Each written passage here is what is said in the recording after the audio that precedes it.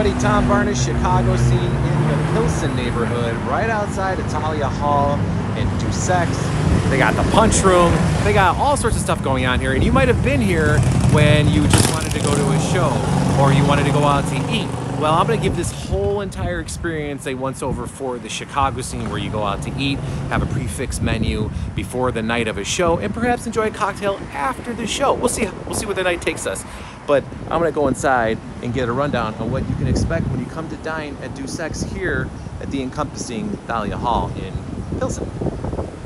Right, so that was the outside of Thalia Hall in the entire venue. Now we're jumping virtually inside in a kitchen, not the Dusek's kitchen, but Chef's Ben own personal kitchen. You just got back from out of town, sir, so I appreciate the time. But welcome to the Chicago scene. How are you? I'm great. Uh, thanks for having me. Absolutely. We I was there a few weeks back where we got some video of the food that people can expect when they're at uh, Dusek's, and you have this amazing prix fixe uh, program going on where people can go in and get some food, and they go and experience a show, and then you can finish off with Punch House, which is what I'm kind of doing in this entire segment. But you're the person with the food knowledge. Why don't you drop some on me as far as what people can expect at Dusek's? Yeah, so for our tasting menu, we kind of uh, we we change it seasonally, but the format's kind of the same. We want you to come in and just kind of uh, we call it the let us feed you. So we just want you to enjoy whatever we kind of are excited about that's on the menu. It's uh, we usually do uh, three to four vegetable dishes, three two or three fish dishes, and two or three meat dishes, as well as dessert on there. So you know we're we're we love all of our farmers, and we always try to make sure and change you know seasonally what that vegetable set's going to be, what the protein's going to go with, but it's always we try to make sure you get sample kind of all of our favorite things.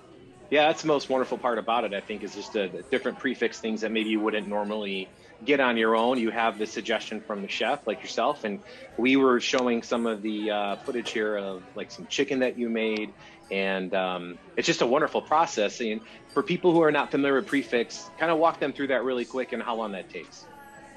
Yeah, so we um, we kind of try to base it uh, off of being a, a shared uh, experience for our prix fixe menu. Mm-hmm. Uh, so we do. Um, if it's a four top, you're going to get those ten dishes, and we want you all to sit there and kind of enjoy and chat and just kind of talk to each other and, and enjoy dinner before you go up to a show or go down to Punch House or wherever wherever your night takes you. And does the prix fixe menu change throughout the year, or is it pretty steady? How does that work? Yeah, it absolutely changes. Um, we we try to keep it pretty pretty constant with it's the number of dishes never changes, but we always change kind of exact like I like I was saying with our farmers, what what we're gonna do. Like right now, we just got you know first corn, tomatoes, and peppers. So the whole menu is about to do a flip right now. So awesome. Well, people should come out and they'll ask for Chef Ben and get the nice seat right there where you kind of watch the whole thing happen, and then you go on to a show. And speaking of show. I'm going to talk to Adrina, I believe, and she's going to give me the whole spiel about uh, Thalia Hall in general. So thanks, Chef. All right, thank you so much.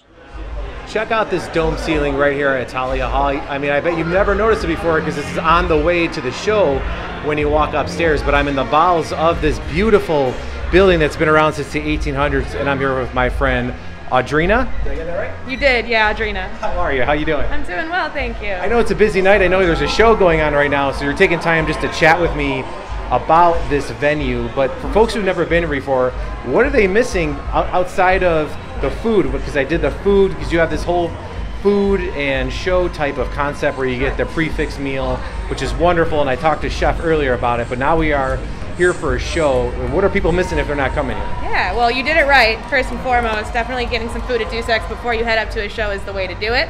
Um, I always say that Thalia Hall is the perfect venue in that it is big enough where you're always going to get a really nice energy from the crowd, but intimate and small enough where there really isn't a bad seat in the house. We do all types of shows here. So if there's a genre, we do it. Um, so there's something for everybody here. And the history of this place goes back to like the year before the World's Fair started. You know, a couple miles from here, further south, but. This was originally built for a, a, meeting space for the community, is that right? Yep, it was a community space built by John Dusek, who is the namesake of the restaurant downstairs. Uh, he was a Czech community leader at that time. There were more people of Czech descent living in Pilsen than anywhere else in the world except for the Czech Republic. Wow, that's incredible. And, and when people come here, they're greeted by so much art and history they don't even know it because the building itself has a lot of that with the chandelier, the ceilings right above you, and then when you get inside the actual venue itself, it has a lot of the original ar- architecture still intact. You know, weathered of course because the place is hundred years old, and when you guys were renovating, you wanted to keep a lot of that, and that's what you did. You kind of just rebirthed it, if you will, as a here's what it looks like uncovered after all the stuff that we pulled off from it. Yeah, absolutely. I know it was really important to 16 on Center when we acquired the space to keep as much of the building as original as possible, especially in the venue. It's um, a beautiful space. It's acoustically sound, and it would just be doing a big disservice to change a lot of that if we didn't have to. So we updated what we needed to to make it sound good for the type of shows we have today, because we're not listening to as much opera upstairs as they did in the past. Right, that was originally what this was. It was like an old opera venue that was a, a, um similar or almost a replica to something overseas. Right? Uh, yes, at the Prague Opera House. Yep. So you'll see actually when you're in this space, there are full four fully functioning opera boxes um, that are for about six people, and then we have two smaller ones as well that can seat about two people. But it's really rare that you'll find a venue that has the type of music and events that we're having here while still having such great seating. And you have that wonderful balcony that has that original artwork along the edges of it, and around the stage itself, you have that that molding. It's beautiful. Yeah, it is. And I think um, we really lucked out. There were uh, some periods of time where the building was being used as a restaurant for other restaurants, but the venue just sat a little quiet. Um, and so it really had a, an untouched feel to it when we got in there. Just took a little cleaning up and a little updating. And you you were mentioning earlier about how there's not a bad seat in the place, and there really isn't. Truly. But the show, when you're inside, it's almost like a warm hug with music, right? Like it's just music everywhere, and you notice it in the floors. The artwork or the character of the building is everywhere, which enhances the entire experience of a show here. Oh, I love that. It is like a warm hug when you go up there. Um, I think also the shape of the room has that same feeling where you're really just in the crowd no matter where you are without ever being crowded, uh, which I think is really important, especially now with things being just a little bit different post COVID. Absolutely, and I, I, I can't be remiss if I didn't say the band that we saw walking around with St. Paul and the Bro- Broken Bones that we're here after a rescheduled show, and here we are again. Finally, we got we get to see them.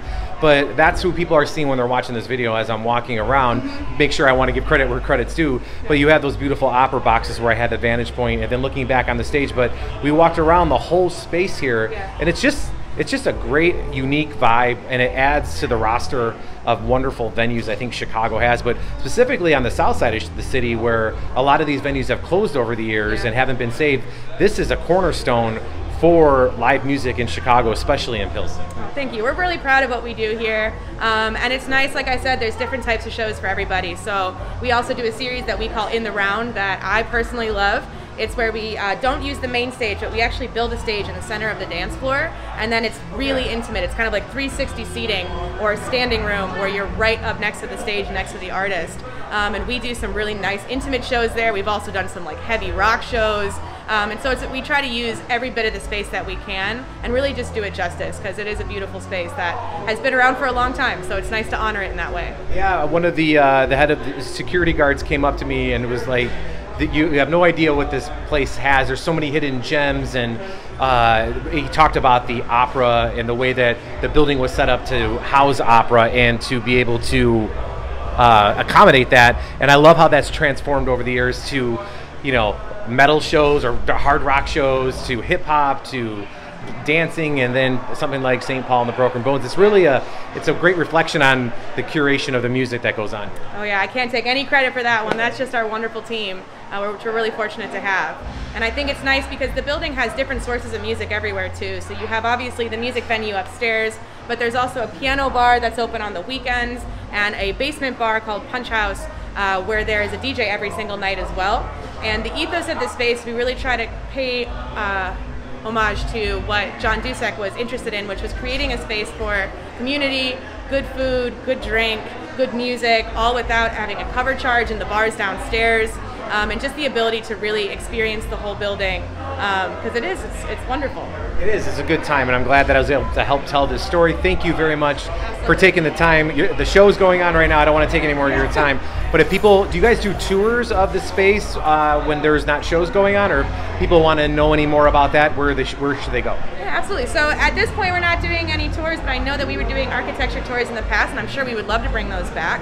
Um, I always let people know if there isn't a show upstairs, or if you happen to catch it a lucky time, ask the folks in the restaurant. They're always pretty happy to just show you the space, give you a little peek inside. But the best way to experience Thalia Hall is to come and see a show with us. Absolutely. Well, thank you very much. And the website for that would be? Uh, it'd be ThaliaHallChicago.com. Perfect. Thank you very much. I appreciate the time. I think Punch House is in my future next, so thank you very much. Check it out. All right, a perfect way to end a night having a drink at the Punch House here at Thalia Hall in Pilsen, T B A R N A S, at WGNTV.com. If you have a suggestion for the Chicago scene, that's T Barnas at WGNTV.com. Come check this place out. It truly is a Chicago gem. Man.